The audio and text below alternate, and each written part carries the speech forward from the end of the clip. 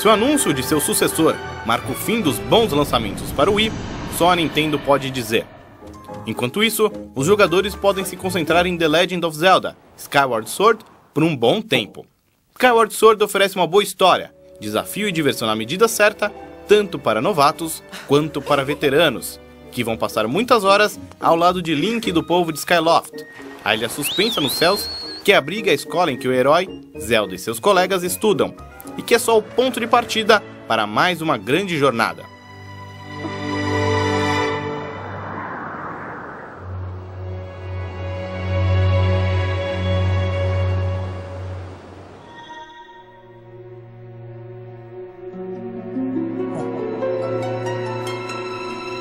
Em Skyward Sword, diferente dos Zeldas anteriores, os inimigos não reagem sempre da mesma forma aos seus ataques.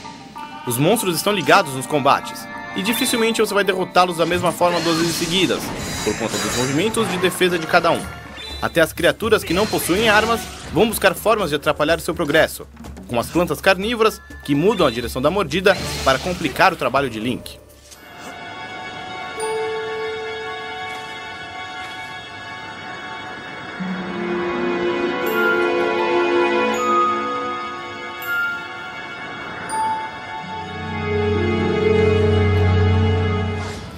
Chefes são um desafio à parte, e aquela história de acerte o oponente com um item depois com três espadadas cai por terra aqui. A sua velocidade na movimentação do controle determina a quantidade de ataques, e a duração da batalha muitas vezes varia de acordo com a agilidade no manejo do Wii Remote.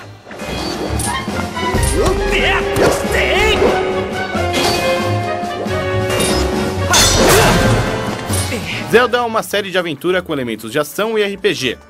A influência do gênero é forte em Skyward Sword. Nas primeiras horas do game, você é apresentado a itens para melhorar os equipamentos de Link, descobre que pode expandir a mochila, item fundamental para armazenar poções e escudos, e a habilidade de Fi, sua ajudante, de analisar os oponentes, dando informações sobre a criatura e dizendo quantas vezes você derrotou durante a jornada.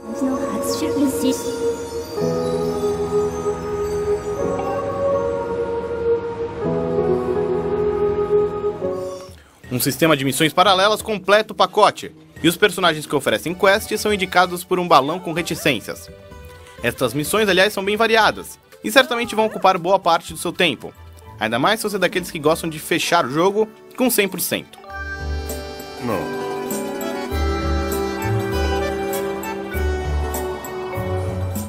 Jogadores veteranos de Legend of Zelda sempre reparam nas criaturas que aparecem durante a jornada, Skyward Sword traz algumas espécies novas, como os simpáticos Kikui, que reproduzem um som engraçado ao conversar com Link, e os LD-301, que lembram robôs. Seres conhecidos dos jogadores como os Gorons aparecem por aqui logo nas primeiras horas, fazendo uma bela mistura entre o novo e o antigo. Ei! Os anos ajudaram Link a evoluir algumas de suas habilidades. Agora, o personagem pode correr quando quiser, sem precisar de um bot especial ou algo do gênero. Com isso vem a adição da barra de resistência, que modifica um pouco a dinâmica de jogo.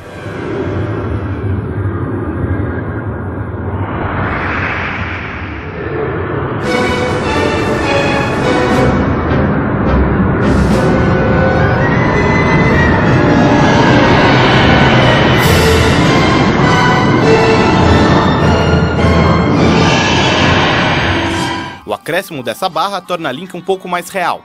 Movimentos que exigem força, como se pendurar em áreas com folhas ou empurrar caixas, fazem com que ela diminua, e o mesmo acontece ao correr por muito tempo. Caso o medidor fique vazio, o protagonista cai, se estiver escalando, ou fica ofegante em realizar ações mais bruscas, como atacar, quando corre muito. Link também ganhou novos itens, que tornam o herói mais versátil. A bomba, por exemplo, pode ser colocada no chão arremessada ou lançada como uma bola de boliche. O besouro também é interessante e pode tanto reconhecer a área quanto carregar itens enquanto o jogador movimenta o controle. Outro item curioso é a rede, utilizada para capturar insetos, que você usa para melhorar suas poções. Alguns dos itens, como a própria bomba e o arco de Link, têm movimentos que lembram outro jogo bastante popular da Nintendo, o Sports, o que deve facilitar um pouco a vida dos gamers novatos.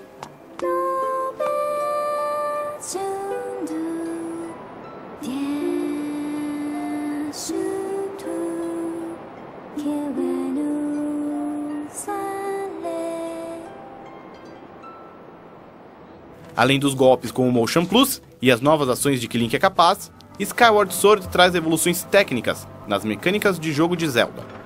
A bússola já está integrada ao mapa, e a tradicional chave do chefe foi substituída por uma peça que deve se encaixar em um espaço na porta, gerando um pequeno quebra-cabeça antes da batalha.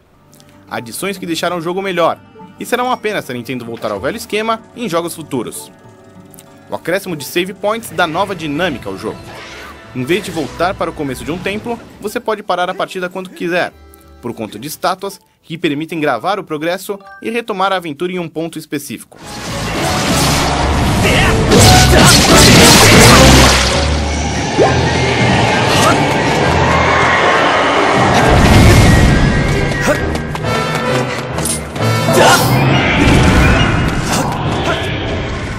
O game segue a tradição de Legend of Zelda, e traz uma série de templos que devem ser desbravados por Link, cada um ligado a um elemento: fogo, ar, terra e água.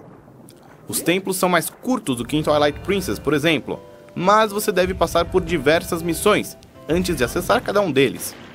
Desde encontrar personagens perdidos a reativar circuitos, utilizando o Remote como uma espécie de chave, o que traz mais variedade e desafio à aventura.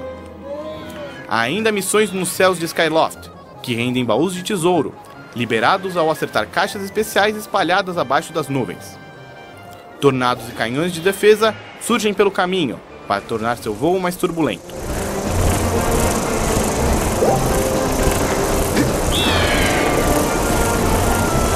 O game também conta com um sistema de busca, utilizando a espada para encontrar personagens ou itens importantes, o que ajuda a não perder a direção do objetivo.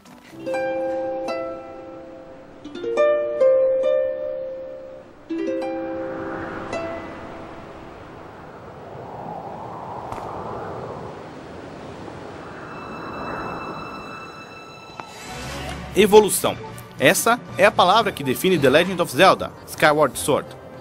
Da adição dos movimentos livres com a espada, graças ao Motion Plus, acessório obrigatório, aos elementos de RPG, o game marca um novo rumo numa das séries mais fortes da Nintendo. Uma bela forma de comemorar os 25 anos da franquia, além de ser item obrigatório na coleção de qualquer Nintendista.